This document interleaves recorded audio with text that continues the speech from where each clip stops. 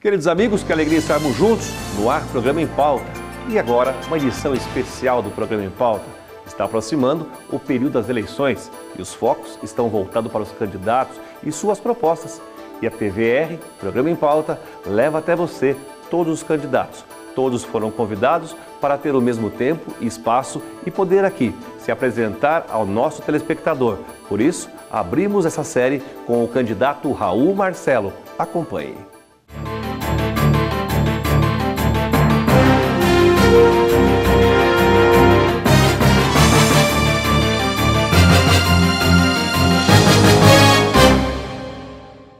Queridos amigos, no ar, programa em pauta, programa especial hoje. TVR, a rede TVR, aqui em Sorocaba, Votorantim, as demais cidades que nos acompanham e todos que nos acompanham pela grande rede, estamos começando o especial Eleições 2016.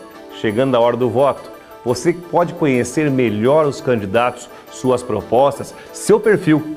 E abrindo esse primeiro programa, e quero destacar todos os candidatos foram convidados, todos os candidatos terão o mesmo tempo, todos foram convidados a participar e expor para você a sua proposta e conhecer um pouquinho mais o seu perfil.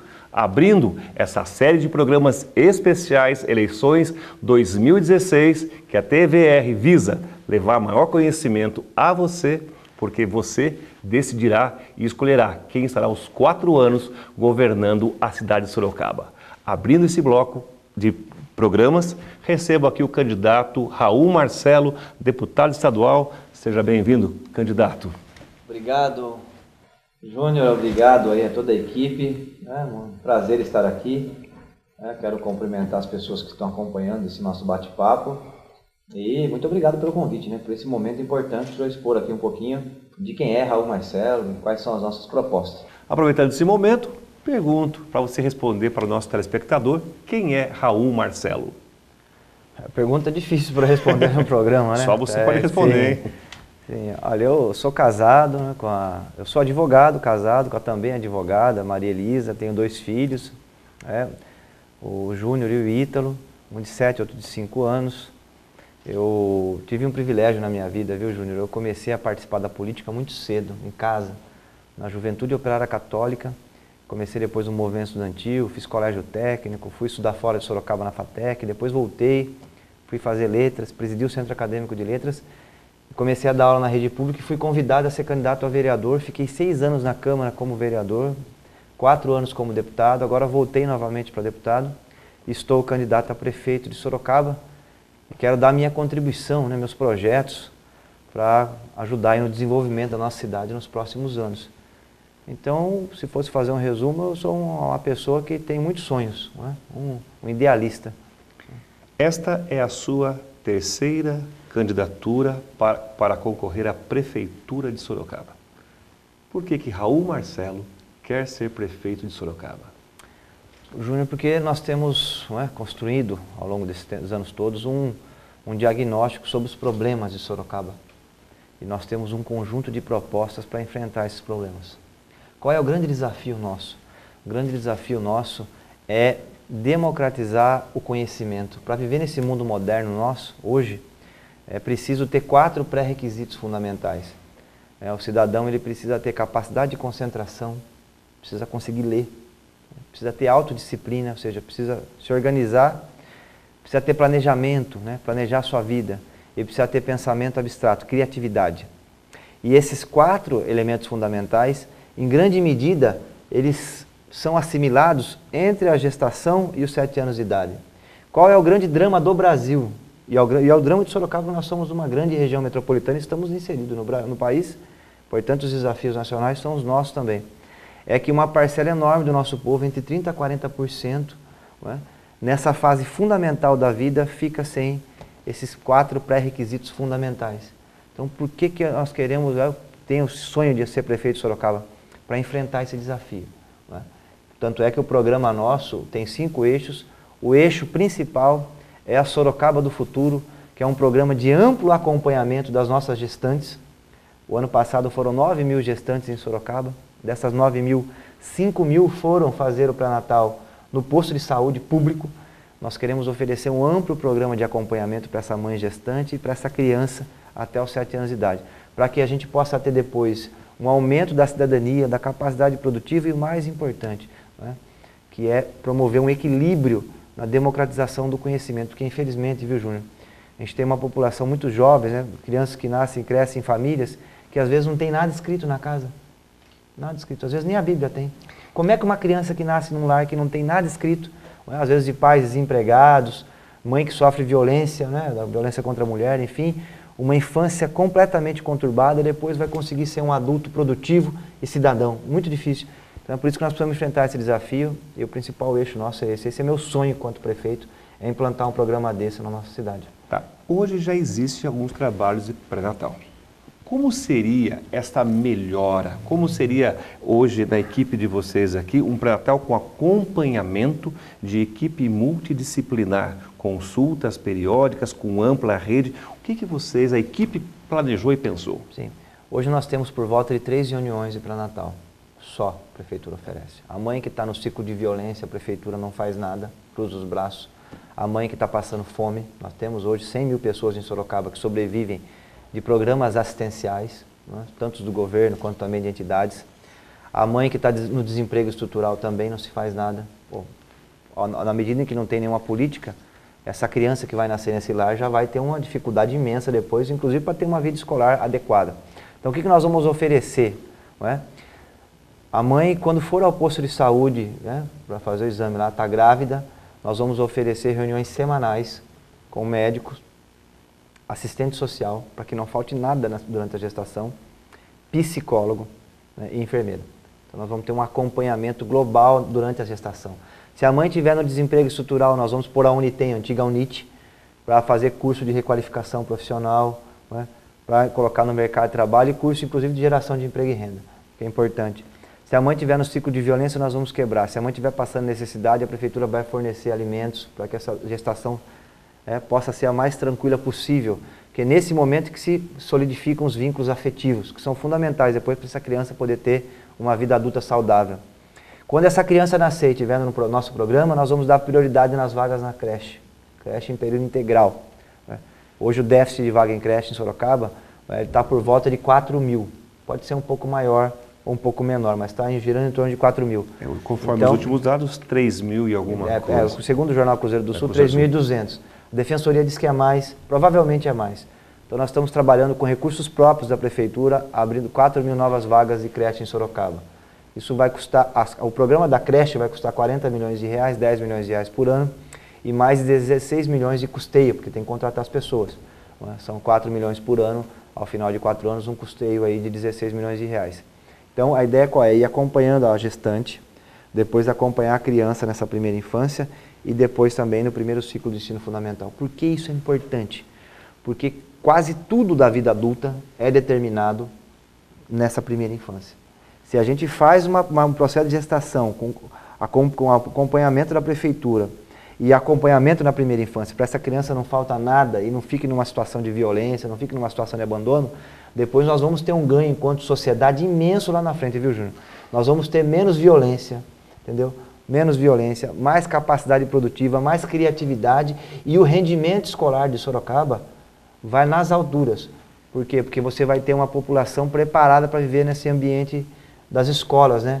Porque vai ter a disciplina, vai ter autoconcentração. Então é um programa fantástico que eu tenho esse sonho de implantar esse projeto de Sorocaba para mudar de fato a nossa cidade. E claro, um grande sonho seria que o nosso país fizesse isso. Né? A Europa fez isso no pós-guerra, o Japão fez, a Coreia do Sul fez isso recentemente nos anos 80, os Estados Unidos também fez né, no All State. E nós aqui no Brasil, é, a, a, vamos dizer assim, a elite política do país até hoje não, não se ateve para essa grande questão nacional, que é promover o equilíbrio entre nós. Né? Aí vamos lá. O projeto Investir em Educação é o melhor investimento que tem.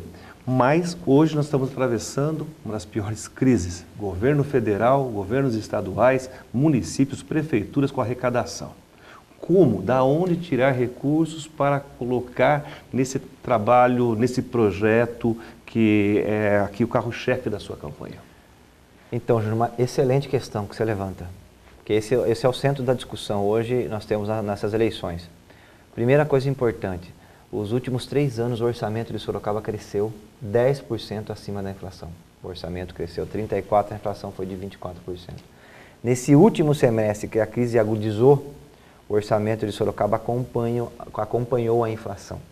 Eu falo isso porque o Tribunal de Contas é um órgão que assessora a Assembleia e eu recebo os relatórios toda semana do orçamento de Sorocaba, porque eu, como eu sou de Sorocaba, eu faço questão de acompanhar a cidade de Sorocaba. Então, o orçamento executado, não é previsto. Então, assim, o, orçamento de Sorocaba não teve um desequilíbrio grande. Nós temos ainda um bilhão de reais para receber de pessoas de Sorocaba que devem para a prefeitura tributos. Então, nós temos um orçamento que está equilibrado hoje, temos uma dívida para receber de um bilhão de reais e uma capacidade de investimento da prefeitura girando em torno de 150 milhões de reais. Do próprio Tesouro, tirando o SAIA URBS, é, em torno aí de 90 milhões de reais. Esse programa, como eu disse aqui, é importante repetir, ele vai ter um custo de 40 milhões de reais para a gente universalizar as creches. Custeio. De custeio, e custeio mais 16 milhões de reais. E o, e para acompanhamento das gestantes, porque são duas coisas, né? Para o acompanhamento das gestantes é em torno de 25 milhões de reais ao longo de quatro anos. Então, esse é o projeto. A saúde. Então, nós temos o orçamento, porque é um programa que ele, que ele vai ter é, é, vários recortes. Né? Ele passa pela educação, passa pela saúde, passa pela questão do emprego. É? Se for pegar só o orçamento da saúde para acompanhamento das gestantes, nós vamos ter um custo de 10 milhões de reais, um investimento de 10 milhões de reais. Mas como nós vamos voltar os recursos do, da geração de emprego lá na Unitem, que foram cortados, né? A prefeitura sempre tinha 8 milhões de reais para requalificação profissional, geração de emprego. Esse ano é que eles cortaram esses 8 milhões. Isso é de fundamental importância para enfrentar a crise. Então nós vamos voltar esses recursos também. Então, no total, nós temos esses valores que o orçamento comporta, a cidade comporta, nós já fizemos os estudos técnicos e nós vamos ter um salto enorme para a cidade de Sorocaba. Dos candidatos, o senhor é o único que não tem coligação partidária. Pessoal, candidato, partido sozinho, como que é? É porque eu quero fazer um governo com secretários com qualificação técnica, né? Aí volta o assunto, é, emendando, é emendando a sua resposta já, hum. Emendando, formação de equipe. Tá, mas uma Forma... coisa está ligada com a outra, viu, Júnior? A formação de equipe hoje é primordial, porque quatro anos é um tempo muito curto Sim. para você desenvolver uma mudança de, de conduta de uma, de uma administração. Exatamente, só que as duas coisas estão juntas. o processo eleitoral já vai, os compromissos vão sendo assumidos e depois acaba redundando na montagem do governo. Essas coligações enormes que foram montadas nas eleições de Sorocaba, isso aí é o tomar lá da cá. Depois vão ter que é, lotear toda a prefeitura. Em vez de você ter pessoas capacitadas, vão ter pessoas, os partidos que fizeram essas coligações imensas, né, é, no famoso cabidão de emprego que virou a prefeitura municipal, infelizmente. Então, nós não vamos fazer isso, é por isso que nós estamos sozinhos, né, sozinhos no sentido partidário, Agora, com muito apoio popular, com muitas entidades, ONGs, sindicatos, associações de bairro, muita gente na nossa campanha. Tanto é que na elaboração do nosso programa de governo, foram seis meses, 18 seminários, 500 pessoas participaram ao longo de 18 seminários. Portanto, tem muita gente envolvida e eu quero fazer um governo em que o secretário e os, o primeiro escalão da prefeitura todo tenha capacidade técnica o secretário de meio ambiente seja da área, né? seja PHD na área, conheça. O secretário de administração conheça a administração pública. O presidente do SAI conheça o SAI, né? que tenha formação na área de saneamento. Hoje, por exemplo, não, é, não tem formação nenhuma na área de saneamento. O presidente da URBS, que tenha formação na área da, da, do, do, do, planejamento é, é, da, na mobilidade urbana. Portanto, é por isso que nós estamos aí só com o PSOL, com a nossa chapa de vereadores completa, porque depois nós queremos fazer um governo sem esse famoso toma lá da cá, que é o que está é, a política carcomida brasileira, se toma lá da cá, em vez de colocar a pessoa que tem qualificação, põe lá um apadrinhado político. Então nós vamos fazer isso e vamos também utilizar os próprios servidores da prefeitura, Candidato. promovendo os servidores aí a cargos chaves dentro da administração. Aproveitar aqui, já o tempo está quase hum. encerrando, tomando um cafezinho, as pessoas que viram já nos meios de comunicação que o senhor estaria no programa, alguns perguntaram, Júnior, o Raul Marcelo, é, porque o partido é Socialismo e Liberdade, é. ele é esquerda, é radical, o que você pode falar rapidamente? Então, hoje esse termo no mundo, né, se você pegar o Partido Socialista Espanhol, né, governou a Espanha durante muitos anos, o Partido Comunista Chinês, governa a China agora, né, eu, eu me considero um político de esquerda, mas hoje você tem aí partidos que têm socialismo no nome, muitos, né, por exemplo, o PSDB, Partido da Social Democracia Brasileira, é uma Partido Social Democrata Russo é que fez a Revolução Russa. Só para a gente ter uma ideia. Hoje quase isso aí não tem muita vamos dizer assim, relação real com a realidade. Né? Tem partidos que têm no nome né, e, na verdade, praticam uma outra política. Né? O Partido Socialismo e Liberdade, a gente tem sim, é um partido que tem um, um perfil de esquerda no Brasil, né? com a tradição da esquerda historicamente, que é de enfrentar a desigualdade social. Né? Lá no parlamento francês, onde se originou a esquerda e a direita, quem sentava do lado direito era aqueles que não queriam que a sociedade fosse transformada. Quem sentava à esquerda, aqueles que queriam que a sociedade fosse transformada e que a, o centro do orçamento né, devia refletir as, os problemas da população. Então, pegando a tradição antiga, a origem, sou, me considero sim um político de esquerda, mas hoje esse termo aí está muito vago.